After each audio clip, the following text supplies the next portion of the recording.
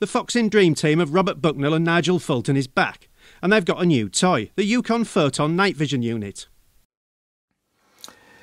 Yes, we've been quite impressed by them, and when we were at the shooting show the other day, Scott Country were doing a deal for the show, and we just thought this is too good to miss because A, they'd got them there, and they're rather a job to source at the moment, and B, they were doing a show price. So uh, we've ended up with one each, and I haven't christened mine yet, but I've played around with it a fair bit, and compared to the old kit I've used in the past, considering the money, I'm very impressed. Three or four rounds to sight it in. I bore sighted it. It was inch, inch and a half away from the bull. Moved it, and that's it. The next two shots, mm. two foxes. So we ran out on the old airfield and saw a set of eyes um, hiding under a bush or a spinney. We tried to call it, but um, well, the camera probably has a better better view, but I was watching through this new little night vision, and I saw the eyes move. They moved to the left very fast and covered the hundred yards of the trees that was left till it got to the end, and it sat there. It may have come out um, of the tree line very slightly, but thereafter it disappeared. And that's all we saw of it, really. Mm. Certainly reacted to the call, mm. but it wasn't coming out beyond the trees, and it hadn't had a lamp on it other than the initial spot of it.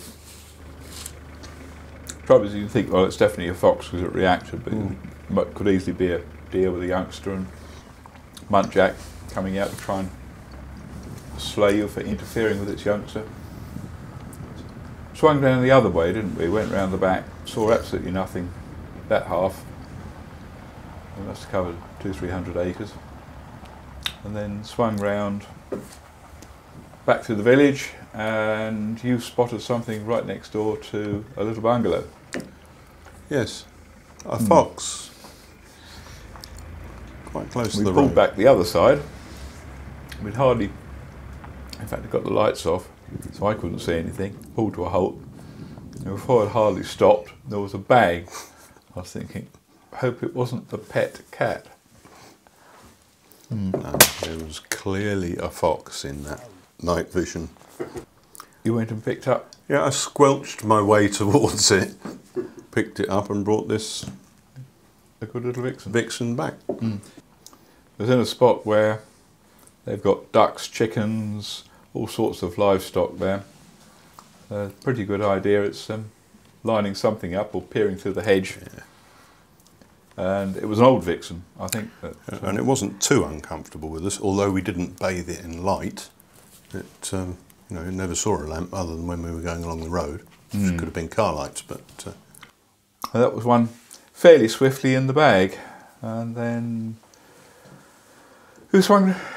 Where did we go? Only about 400 yards down the road, wasn't it? Went round the corner, and there was a a fox. Well, fox. You identified two deer across the other side, feeding on the.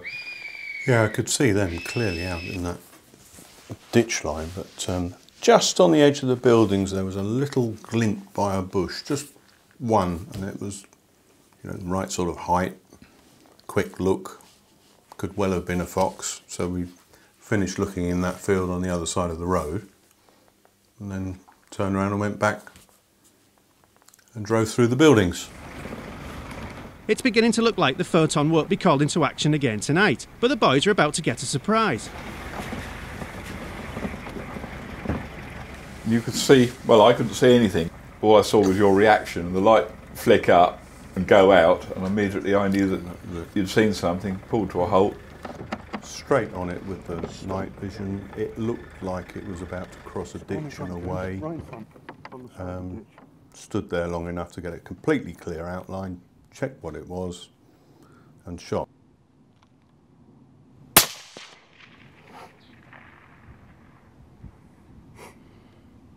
One more that came out the hedge and the wind was wrong. called that in, and into the wood. that wind was. I think the, the spinney we were next, although the wind should have been going, that spinney would have drawn the air down there because it started coming in really well, and then it just stood and looked at us, Yeah. and it went away from the wind. I think when it stood and looked, we were all agreed because we, we talked about how far it was away. We think it's 200 or a little bit over 200 yards away.